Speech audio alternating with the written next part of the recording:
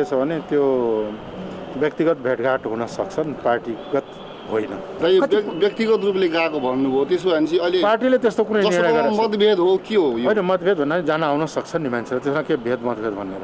पार्टीगत पार्टीमा पार्टी पार्टीले। निर्णय गरेर वार्ता गर्नेहरू चाहिँ पाँचजनाको टिम हो।